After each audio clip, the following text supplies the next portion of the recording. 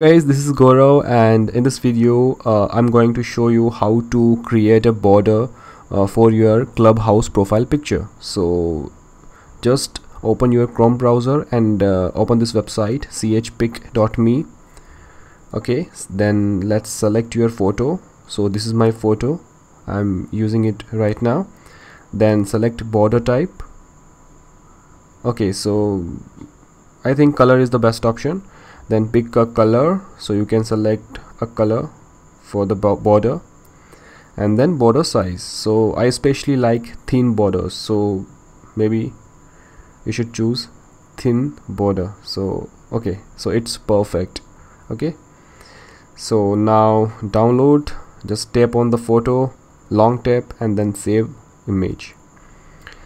And then go to your club clubhouse pro profile and then just change the photo. So that's it. So if you have any query just let me know in the comment section.